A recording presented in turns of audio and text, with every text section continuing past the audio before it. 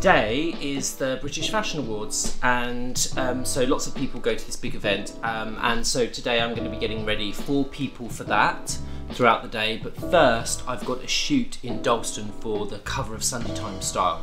So we're going to whiz over there for 9 a.m. and get started with that, and leave this one in safe hands.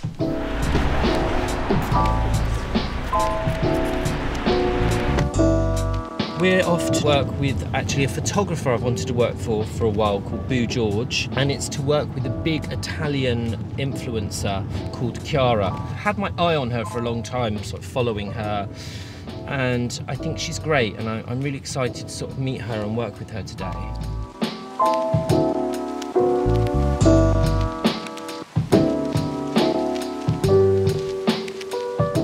Arrived. Took me ages to find it. Usual story. Always walking around London with a random case, not knowing where I am. But um, yeah, I'm about to go in. I shall let you know how it goes.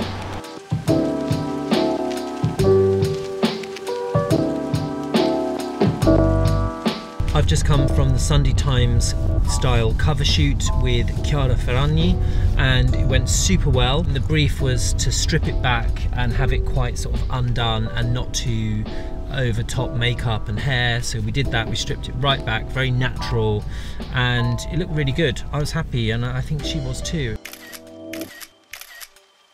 we're now going to the salon because I'm doing a client and friend of mine, Avril Mair, who's the fashion director at um, Harper's Bazaar.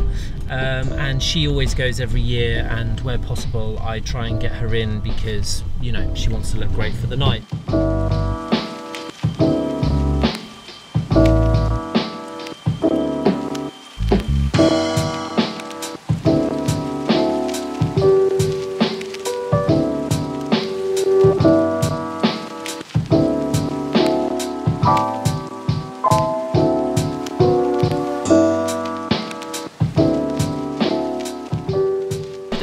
Going to the British Fashion Awards, like everyone else, wearing a YSL tux, which is very structured and sort of like quite, um, you know, masculine as it were. So we just wanted something feminine with the haircut, the hairstyle to sort of balance it out. So um, at Avril's request, we've just gone for something really lovely and sleek and straight. So we just blow dried it smooth, and then we're just flat ironing through the mid lengths and ends, just to make it almost look like glass and high shine. So we just want really polished, high shine hair.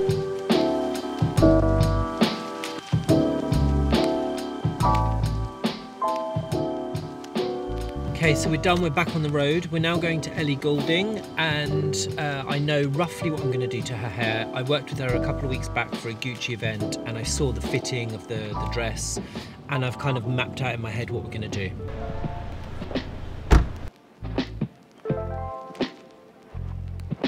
Just done Ellie's hair. It looked really amazing. She's so lovely. Did a top knot on the top of the head, so we kept it really messy, wound it into a knot, and left some nice wispy bits out around the face just to make it feel really soft and um, gentle. Because the dress is quite full on, you'll see.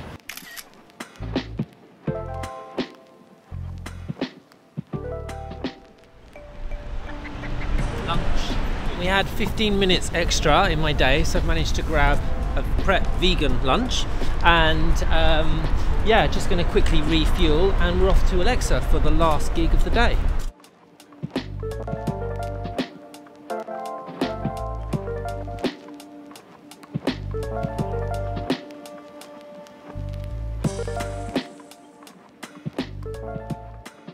Here I am with one's muse, Alexa Chung. um, so Alexa's going to the British Fashion Awards tonight, aren't you? Yes. Um, wearing her own creation here. What was the brief? Um, there wasn't like a theme or anything. I just saw a picture of, as per usual, Jane Birkin in the 70s rather than the 60s this time, um, walking away down a path looking backwards, and she had a like backless black dress on. Yep. So I imagined that at the front it would have a white collar. What was the hair references you gave me? Sex kitten. Sex kitten. So what we've done is Alexa's very known for her hair. So what we did is this time to make it a bit more sexy, we did a blow dry underneath and then we did a bit of tonging on top. So she's got the usual cool girl wave going on, but a bit more Bardot-y and big and sexy. I met George when I was 19. I'm now 20. So it's been a good year. No, it's been a shocking been a good of run, time. hasn't it? Before that, I'd had haircuts and they were nice or they were disastrous, but no one had kind of intuitively got what I wanted and made me feel like I looked like a better version of myself. So when I got my first George Northwood haircut, I literally was like, oh my god, I'm crying for the right reasons, not the wrong reasons. Was so and you happy. did say at the time, I remember at the very time you did say, no one else is going to cut my hair again. yeah, And you did say on the very first time I cut the hair. Uh, and you've stuck to it. I have stuck to it. By, by one fringe trim in at New York. Yeah, once I let someone else do my hair and it was really bad. And why have you stuck with me?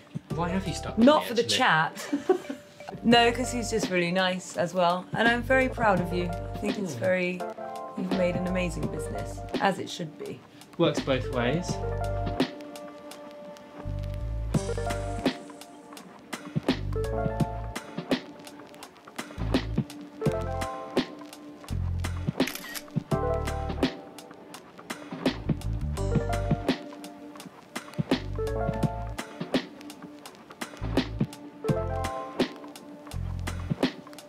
Back home with this one. Now I'm going to sit here of an evening and basically scroll through and try and have a look at everything and make sure everything looked good. Between when you say goodbye to what goes on the red carpet, anything can happen. So I've just got to kind of wait to see what the images look like. However, I'm doing it long enough now to kind of know the tips and tricks to make sure that the hair stays. So I'm just excited to see it. Thank you very much for watching. Um, please subscribe if you haven't, and there'll be lots more coming soon.